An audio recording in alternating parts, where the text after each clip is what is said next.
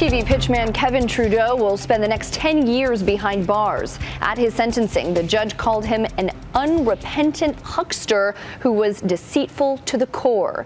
Trudeau was convicted for criminal contempt after a court order barred him from running false TV ads. His infomercials ran at least 32,000 times. Trudeau had made millions from sales of his weight loss book.